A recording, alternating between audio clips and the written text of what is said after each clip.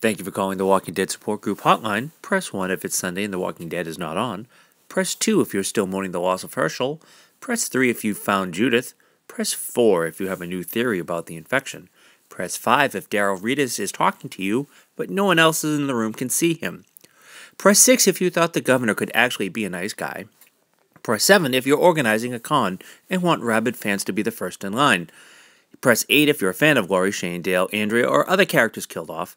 Press 9 to speak to Jason, Keith, or Alex. Otherwise, wait on the line until February when we all come out of hibernation to watch the return of The Walking Dead. Thank you.